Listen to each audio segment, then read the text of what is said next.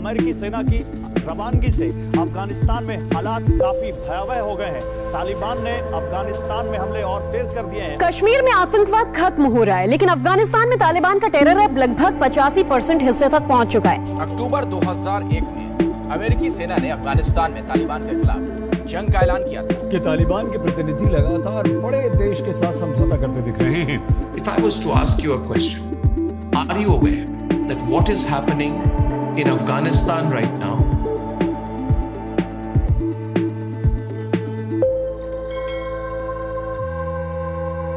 तो hello guys मैं हूँ रोहित राय और आज बात करेंगे तालिबान के बारे में। क्या है तालिबान? अफ़गानिस्तान में तालिबान का जन्म कैसे हुआ?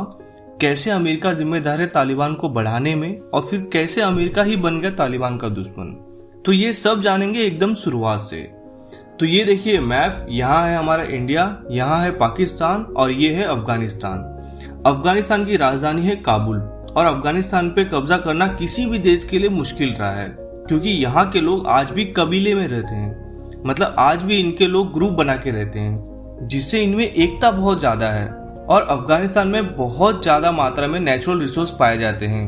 और तो और अफ़गानिस्तान में बहुत ज़्यादा मात्रा में अफीम पाया जाता है। जिसे ओपियम बोला जाता है और बाद में उससे हीरोइन ड्रग्स बनाए जाते हैं।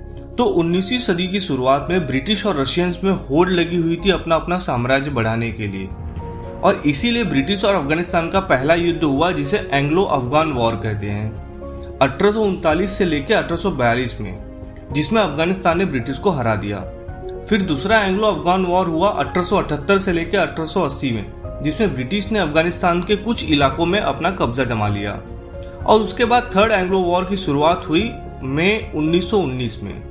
लेकिन अगस्त 1919 में ब्रिटिश और अफ़गानिस्तान के बीच समझौता हो गया बहुत सारे फॉरेन प्रेशर की वजह से, जिसे ट्रीटी ऑफ़ रावलपिंडी भी कहा जाता है। और 19 अगस्त 1919 को अफ़गानिस्तान एक स्वतंत्र देश हो गया जिसपे किसी का भी कंट्रोल नहीं था। लेकिन फिर वहाँ राजाओं का शासन आया। सबसे पहले वहाँ के किंग थे हबीबुल्ला खान। फिर उनके बेटे अमन अमनुल्ला खान अफ़गानिस्तान के किंग रहे उन्नीस तक। फिर उन्नीस से लेके 1933 तक मोहम्मद नादिर शाह रहे किंग। फिर 1933 में मोहम्मद ज़ाहिर शाह बने किंग। ज़ाहिर शाह बहुत ही ज़्यादा न्यूट्रल किंग थे। उन्होंने ज़्यादा बदलाव लाने की कोशिश नहीं की। और इसी बीच अफ़गानिस्तान में 1 जनवरी 1965 के दिन the people's democratic party of Afghanistan की स्थापना हुई।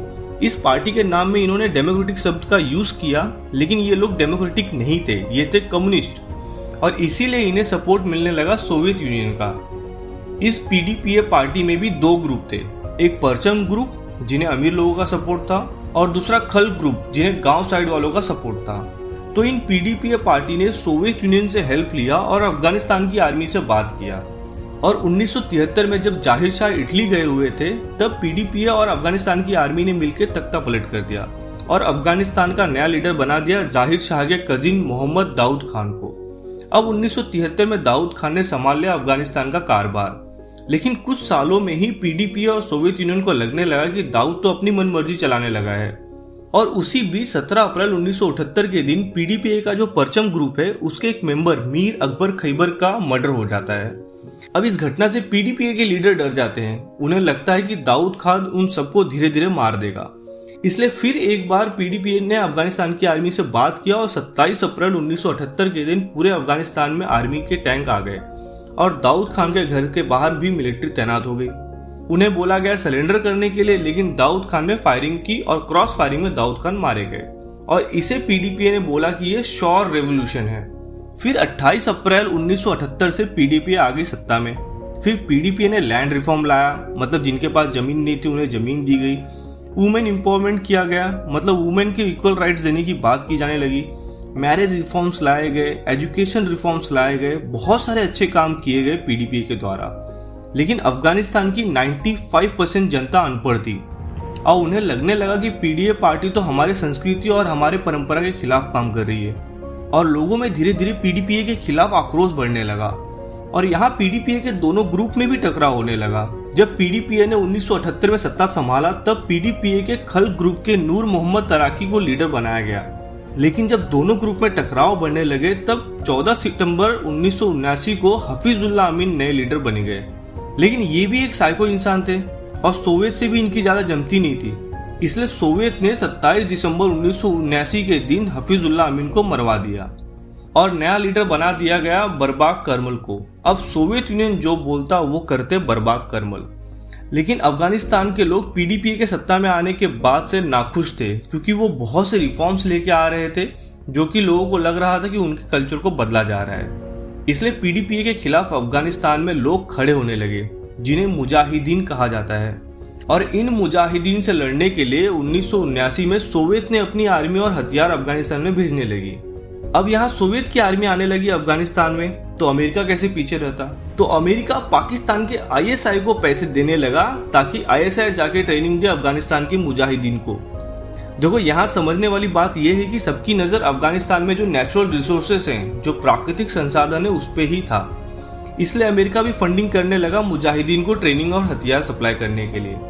अब 1979 से लेकर 1989 तक लगभग 10 साल सोवियत आर्मी और अफ़गानिस्तान के मुजाहिदीन के बीच लड़ाई होती रही। सोवियत के भी 15,000 से ज़्यादा सैनिक मारे गए और सोवियत को समझ में आ गया कि यहाँ रुक के कोई मतलब नहीं है। सोवियत ने अपनी आर्मी वापस बुला लिया 1989 में, और ये तस्वीर दिखाना ज़रूरी है।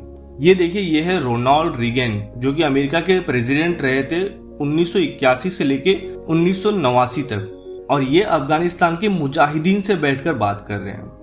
अब 1989 में सोवियत की आर्मी चली गई। उस समय अफ़गानिस्तान के लीडर थे पीडीपीए के मोहम्मद नजीबुल्लाह, और यहाँ मुजाहिदीनों ने अपना अलग अलग ग्रुप बना लिया था। अफ़गानिस्तान की आर्मी और मुजाहिदीनों की लड़ाई चलती रही। लेकिन 24 अप्रैल उन्नीस के दिन पाकिस्तान के पेशावर में अफ़गानिस्तान की गवर्नमेंट और मुजाहिदीनों के ग्रुप में समझौता हुआ कि अब वो दोनों मिलकर इंटरीम गवर्नमेंट चलाएँगे मतलब मिली जुली गवर्नमेंट चलाएँगे। लेकिन मुजाहिदीनों का एक ग्रुप था हजबे गुलबुद्दीन पार्टी जो इस इंटरीम गवर्नमेंट के खिलाफ में थी और वो अकेले राज करना चाहते थे, इसलिए उन्होंने काबुल पे हमला बोल दिया। और यहीं से अफ़गानिस्तान में सिविल वॉर की शुरुआत हो गई। अलग अलग ग्रुप आपस में लड़ने लगे। और इन सबके 20 सितंबर उन्नीस सौ चौरानवे में अफ़गानिस्तान के कंधार में मुल्ला मोहम्मद उमर ने 50 स्टूडेंट के साथ तालिबान की स्थापना की, जिनका उद्देश्य था कि वो अफ़गानिस्तान में इस्लामिक लॉ लाएँगे और शांति बनाएँगे। अगले एक महीने में ही पंद्रह हज़ार से ज़्यादा लोग जुड़ गए तालिबान से। अमेरिका और सोवियत ने तो वैसे भी बहुत सारे हथियार छोड़ गए थे इनके लिए। पैसे की कमी तो थी नहीं इन्हें, क्योंकि यहाँ पाए जाने वाले अफीम को ये लोग ब्लैक मार्केट में बेचते थे। उन्नीस आते आते तालिबान ने अफ़गानिस्तान के 12 राज्यों पर अपना कब्जा जमा लिया था। और उन्नीस में काबुल समेत 80 परसेंट अफ़गानिस्तान पे तालिबान ने कब्जा कर लिया। 27 सितंबर उन्नीस से अफ़गानिस्तान में अब तालिबान का कानून चलने लगा। तालिबान के आने के बाद सबसे ज़्यादा अत्याचार किए गए औरतों पे। लड़कियाँ स्कूल नहीं जा सकती थी, लड़कियों अकेले बाहर नहीं जा सकती थी, उन्हें हमेशा बुरका पहना रखना होता था, उन्हें बीच चौराहे पे मारा जाता था तालिबानी सुन्नी मुसलमान थे, इसलिए वो लोग ज़बरदस्ती सिया मुस्लिम को सुन्नी में कन्वर्ट करने लगे और तालिबान बड़े बड़े आतंकवादी संगठन को भी पनाह देने लगे। ओसामा बिन लादेन भी आ गया अफ़गानिस्तान में। हालत बहुत ज़्यादा खराब होने लगे थे। 2001 में अफ़गानिस्तान के बमियान में पहाड़ के अंदर गौतम बुद्ध की प्रतिमा बनी हुई थी। उसे भी बम से उड़ा दिया तालिबान ने, क्योंकि उनका बोलना था कि इस्लाम मूर्ति पूजा की इजाज़त नहीं देता है। अमेरिका खुश था कि जो भी हो, हम पे कभी हमला नहीं होगा। लेकिन 9 सितंबर 2001 के दिन अमेरिका के अलग अलग एयरपोर्ट से चार फ़्लाइट उड़े और उन चारों फ़्लाइट को हाईजैक कर लिया आतंकवादियों ने। उसमें से दो फ़्लाइट आके टकरा गई वर्ल्ड ट्रेड सेंटर में, जो कि 110 मंजिली बिल्डिंग ज़मीन दोष हो गई कुछ ही पल में। फिर 20 सितंबर 2001 को US president George W Bush ने अफ़गानिस्तान को बोला कि वो अलकायदा के लीडर को अमेरिका के हवाले कर दे। और बहुत सारी मांगे रखी। लेकिन अफ़गानिस्तान ने मना कर दिया कोई भी मांगे पूरी करने से। फिर अक्टूबर 2001 में अमेरिका ने नेटो मेंबर कंट्रीज़ के साथ मिलकर एक लाख तीस हज़ार सैनिक को भेज दिया अफ़गानिस्तान में और दौड़ा दौड़ा के मारा इन लोगों ने तालिबानों को। और ये सारे तालिबान अंडरग्राउंड हो गए। और 2005 में अफ़गानिस्तान में पहली बार प्रॉपर तरीके से इलेक्शन हुए और हमीद करजाई को प्रेसिडेंट बनाया गया।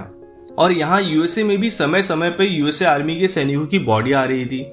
इसलिए अमेरिका में भी गवर्नमेंट पे दबाव बन रहा था कि सैनिकों को वापस बुलाया जाए। क्योंकि यूएसए के लोगों का कहना था कि 9 ग्यारह का बदला तो ले ही लिया गया है, लेकिन अभी तक हमने अपनी आर्मी वहाँ क्यों रखी है?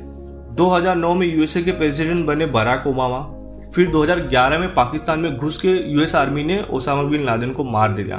फिर 2013 से ही यूएसए शांति समझौता के तौर पर तालिबान से बातचीत करना शुरू करते हैं। तालिबान ने उसके लिए प्रॉपर अपना ऑफ़िस खोल रखा है कतार में। लेकिन इस बातचीत से कुछ भी प्रॉपर सोल्यूशन नहीं निकला। तालिबान बड़े लेवल पे तो नहीं, लेकिन छोटे छोटे लेवल पे अभी भी अफ़गानिस्तान में हमले कर रहा था। 2014 में बराक ओबामा ने बोल दिया कि वो धीरे धीरे अपनी आर्मी को वापस बुला लेंगे। ओबामा का प्लान तो यही था कि एक दो साल में पूरी आर्मी को बुला लेंगे। लेकिन जैसे ही यूएसए की आर्मी जाने लगी, वैसे तालिबानियों ने अपना हमला बढ़ाने लगे। फरवरी 2020 में फाइनली यूएसए और तालिबान की बातचीत होती है और एक समझौता एग्रीमेंट साइन किया जाता है, जिसमें बोला जाता है कि यूएसए अपनी आर्मी यहाँ से निकाल देगा और तालिबान यूएसए आर्मी पे अटैक नहीं करेगा। अब जब अमेरिका के प्रेसिडेंट बन गए हैं जो बाइडन इन्होंने कहा कि 1 मई 2021 से यूएसए की आर्मी को वापस बुलाया जाएगा और 11 सितंबर 2011 तक पूरी यूएसए आर्मी अफ़गानिस्तान से निकाल लिया जाएँगे। जो बाइडन के इस तरह से डायरेक्ट डेट अनाउंस करने के बाद से ही तालिबानियों के हमले और बढ़ गए अफ़गानिस्तान में। अफ़गानिस्तान में टोटल 34 राज्य हैं और 421 ज़िले। और आज के समय में पचासी परसेंट इलाके पे तालिबान का कब्जा हो गया है। और ऐसी उम्मीद लगाई जा रही है कि सितंबर में जैसे ही यूएसए की आर्मी निकल जाएगी, वैसे ही कुछ ही हफ्तों या महीनों में अफ़गानिस्तान में तालिबानी शासन फिर से चालू हो जाएगा।